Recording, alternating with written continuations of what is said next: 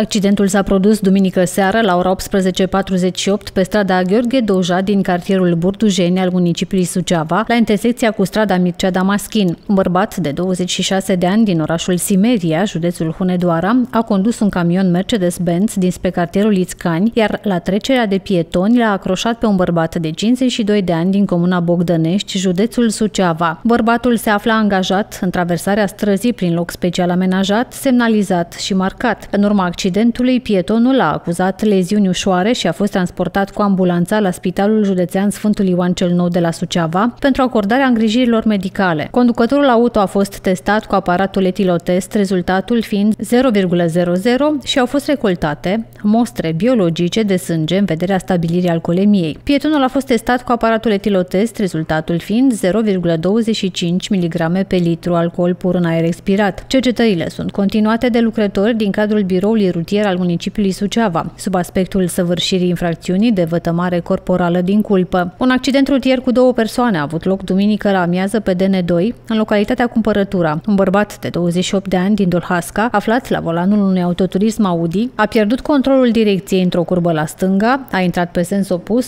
și s-a izbit frontal într-un autoturism Hyundai, condus din sens opus de o femeie din Iași. În urma impactului a fost rănită femeia aflată la volanul autoturismului Hyundai și pasagera din dreapta dreapta față a autoturismului Audi. Cele două victime au fost transportate la Spitalul Județean Suceava pentru îngrijiri medicale. Polițiștii fac cercetări pentru vătămare corporală din culpă.